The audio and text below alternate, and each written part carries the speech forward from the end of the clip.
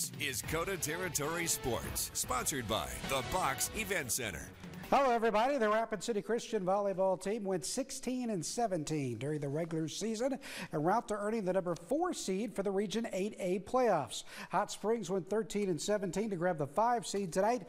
The Comets hosted the Bison for a first round playoff matchup. Now, the winner of this match faces top seeded Hill City on Thursday for a trip to the Sodak 16. First set, the Comets get the ball to Riley Lentz, and she smacks one down to the court. This ball headed right into your living room for the kill. Christian up 8 to 4 now. Destiny Webb tightens things up as she smacks one through the block for the uh, point. Comets fire back as they get the ball to Maddie Allsteel. She absolutely unloads on this ball and sends it right down to the court for the big kill. Hot Springs down by one, but not anymore as Ashlyn Elshier smacks one down the center of the court for the kill. These teams played a great match and went the distance with Rapid City Christian advancing three sets to two.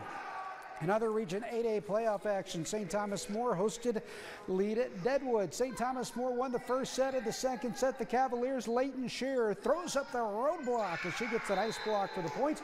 STM won the second set 25-17. Third set, Hayden Jacobs serving for lead Deadwood.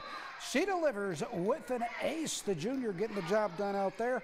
12 to 2 now. STM Kelsey Binda adds to the advantage as she connects on the strong kill. Nine kills for Binda tonight. Leighton Shearer back to work for the Cavs as she hits one right down the center of the court for the kill.